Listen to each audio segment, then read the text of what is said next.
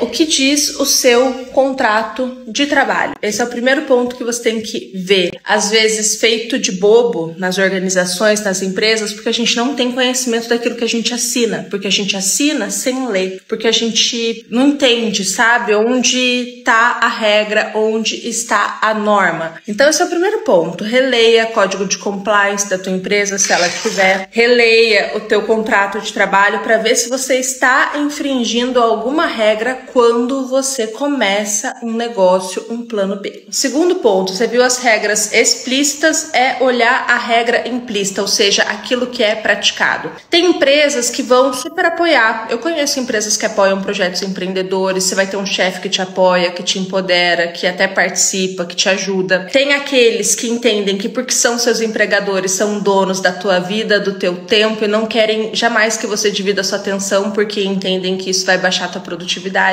Tem aqueles que sentem uma inveja, isso também pode ser sentido por pares, sabe? Então não vão curtir por causa disso. Tem aqueles chefes que são paisões, que gosta que você peça aprovação de pequenas coisas, que querem ser envolvidos, que vão achar uma traição você ter começado um projeto como esse, não ter dividido com o seu paizão, com o seu amigão. Oh my God, okay, it's happening.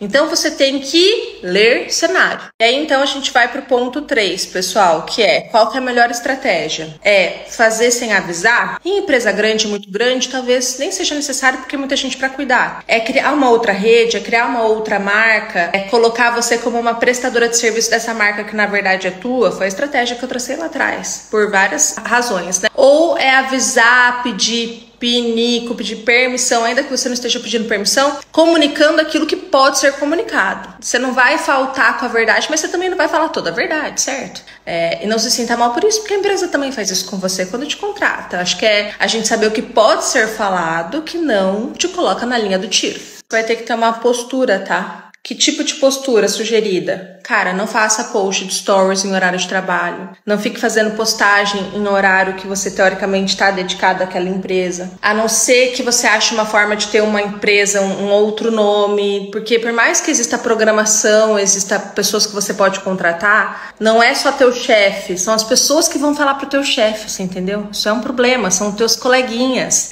É, enfim, você vai ter que tomar cuidado para não sobrepor interesses, para não trabalhar na empresa, para não prospectar na empresa, coisas básicas, né? Mas que a gente às vezes erra. Não deixar o rabo para pisar, porque os olhares vão estar voltados para você, você entendeu? E o teu conteúdo, ele vai ter que seguir as regras de conduta da empresa que você é contratado. Então, às vezes você tá falando sobre o mercado, mas aquilo se aplica para tua empresa, aquela crítica. Então, esse é um conteúdo que vai ser mal visto visto, você entendeu?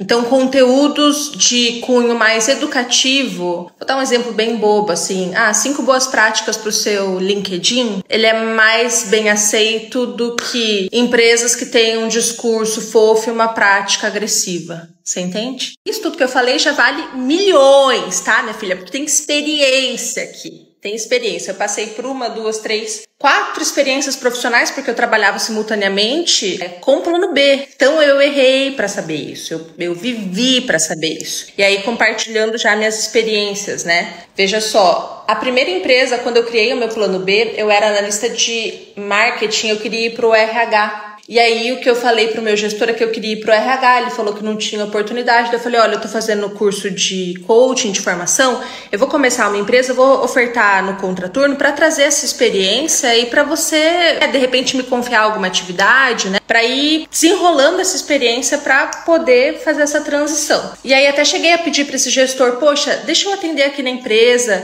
é, atender as pessoas, o processo é bom por causa disso, disso, disso, deixa eu pegar umas atividades. E olha que legal, esse gestor deixou atender na empresa, só que foi o que ele falou: você vai atender no contraturno, depois de bater o ponto, eu não vou te pagar hora extra e vai ser para quem quiser. Topa? top, comecei a atender. Daí eu falei, deixa eu pegar umas atividades de RH e tal. Daí ele falou assim, cara, você pode pegar a atividade de RH, só tinha contabilidade na empresa, só que você vai ter que continuar entregando suas atividades de marketing e eu não vou te pagar mais por isso. Topa? Topo. Porque a gente precisa de experiência, gente. O mercado não aposta com o dinheiro próprio, certo? Você tem que estar disposto a fazer um pouco a mais ali se você quiser sair do lugar. Ok, essa empresa era uma empresa média pequena, esse meu chefe era o chefe PJ. Lembra que eu falei esses dias em uma das, das histórias? E daí eu sabia que eu precisava disso no currículo, no, na carteira. Daí eu falei, pô, chefe, eu já tô fazendo as atividades de RH, eu tô querendo caminhar para isso. Muda minha carteira para analista de RH. Não precisa me pagar mais nada. Porque graças a esse chefe e a experiência que eu pude colocar na carteira, fui para uma outra empresa maior trabalhar na área de RH. E eu lembro de ter falado na entrevista que eu queria ficar cinco anos nessa empresa, pelo menos. Eu realmente queria ter essa experiência, eu gostei muito da empresa. Enfim, entrei para ficar, mas coisas acontecem no caminho. O plano B ia ficar mais mortinho nesse momento. A minha chefe foi desligada logo no início. Eu tentei ter vários projetos crescer a todo custo, tinha reconhecimento, ganhei prêmios pela empresa, pude experimentar muitas coisas, mas o faz-me rir não vinha. Tentei ir para uma área, não deu certo, fui acusada de ser ingrata pela minha gestão, tentei ir para outra empresa do grupo, do nada, tava certo, do nada deu errado. É, então, assim, foi me estrangulando de uma forma que o plano B virou é, o fato principal ali. E eu tinha inputs dúbios, eu também fui muito boba porque eu falava muito nessa empresa. Eu tinha uma postura de amizade com a gestão na época, então eu falava mais do que deveria, eu tinha uma visão de que eu era apoiada.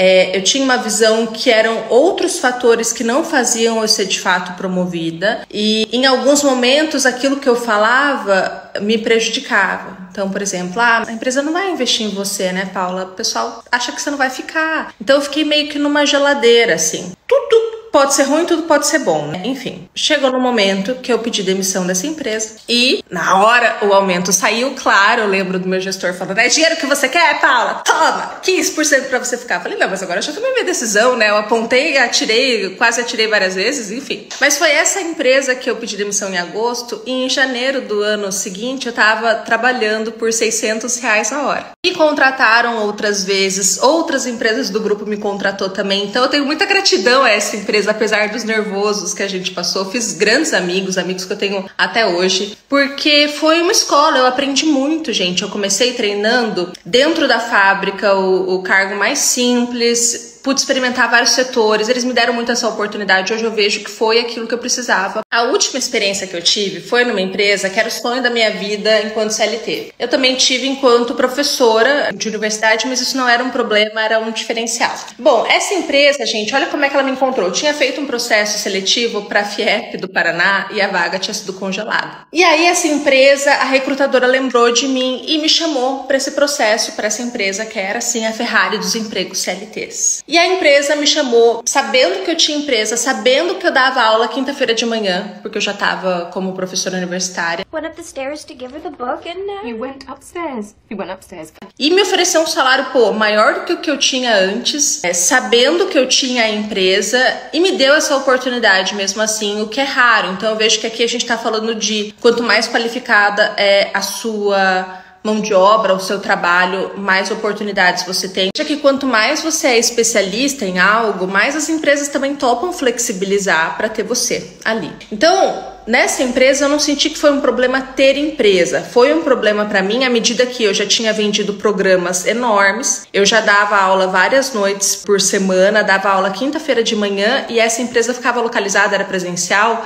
na região periférica de Curitiba. Então, é, não era central ali. Tinha que fazer um deslocamento grande, tinha trânsito. Isso me atrapalhava muito, me deixava muito estressada, cansada. Eu também tive dificuldades na adaptação com as atividades que eu tinha para fazer. É, não acho que o que eu podia ofertar era o que de fato eu estava conseguindo entregar ali. E aí o estopim, não sei se vocês se lembram, eu estava sentindo, já contei essa história, eu tava sentindo que eu estava nadando ali, eu não estava conseguindo performar o que eu deveria performar. E uma empresa que eu era já prestadora de serviço foi contratada para atender essa empresa. Ela foi contratada para fazer um trabalho de uma semana por 80 mil. Como que eu sei? Porque eu era da área de treinamento. E aí eu recebo uma ligação dessa empresa que não sabia que eu estava trabalhando como CLT, falando: olha, a gente vai fazer um trabalho na empresa X, que era a empresa que eu trabalhava CLT, e a gente quer você como palestrante, o valor é 150 reais a hora. E aí nesse momento eu pensei: o que, que eu tô fazendo, né? Porque não foi uma vaga que eu me candidatei, foi uma vaga que veio até mim, que era o sonho da minha vida enquanto CLT, que eu precisava ali colocar mais energia, me empenhar mais para fazer essa adequação acontecer, mas eu pensei, cara, acho que eu não tô disposta a fazer esse caminho, acho que eu nem preciso fazer esse caminho. Eu tenho uma empresa, eu tenho um escritório, eu tenho um contrato, eu tenho clientes, o mercado me reconhece, nesse lugar eu brilho muito mais. Por que, que eu tô fazendo isso? Foi quando eu pedi demissão.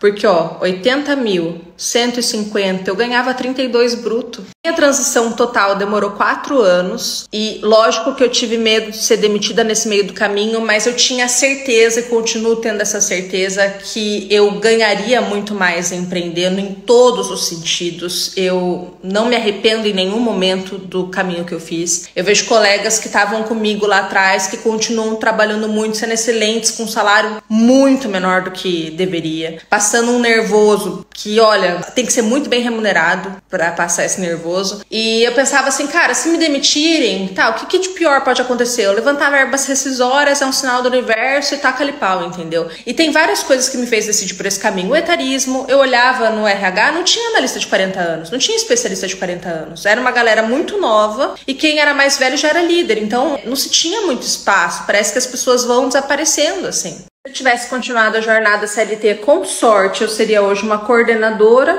Com sorte, ganharia uns 14 mil bruto, o que, claro, é um salário acima da média, mas para os planos que eu tinha considerando os descontos. E nem é plano muito audacioso, tá, gente? Até um plano de saúde legal, eventualmente se ter filho poder pagar uma escola decente, essas coisas aí, né? De classe média, né? Porque 14 mil não deixa ninguém rico, né, gente? A gente trabalha não é rico, então, enfim. Bom, isso eu teria com muita sorte esse, essa vida. E seria com certeza muito sacrificante, muito estressante. Eu não teria a mobilidade que eu tenho hoje, de morar fora, de ter trabalhado em tantos países, de ter chegado em tantos lugares. Então, assim, acho que é muito do que você deseja, sabe, pra tua vida. Mas independente se teu sonho é empreender totalmente ou não, ter plano B é segurança para você, é não ficar na mão do empregador. Acho que todo mundo deveria ter. Se um dia vocês quiserem, eu posso até gravar um conteúdo falando vantagens e desvantagens de cada regime de trabalho. CLT, PJ, empreendedor, porque eu trabalhei em todos eles. Todos, gente, tem vantagens e tem desvantagens, entendeu? Tem coisas que a CLT traz que eu nunca mais tive, tá? É, então, não é que ter um emprego CLT seja ruim, veja, não é esse o ponto, mas é, tem coisas que a gente deseja às vezes que a gente não consegue ter em alguns ambientes e independente se é um, se é um bom emprego ou não, não é algo que você controla, não é algo que você tem, a estabilidade ela não é verdadeira, assim, você entende? Então é importante ter um plano B por